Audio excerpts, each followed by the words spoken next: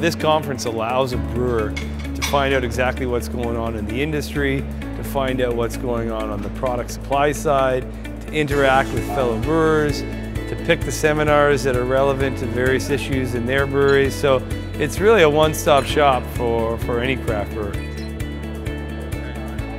This is my fifth uh, consecutive year coming to the OCB conference. A lot of it is the camaraderie, so you get to see all of the, obviously, Ontario brewers, but which is great to see, there's a lot more guys coming from across the country. I've seen guys here from New Brunswick, Quebec, BC, and uh, every year there's more.